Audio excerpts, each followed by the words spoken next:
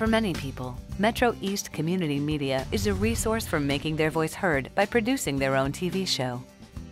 Community producers contribute original programming to MetroEast, providing their views in shows about Senior interests and senior hobbies. Native nations exploring contemporary Indian issues.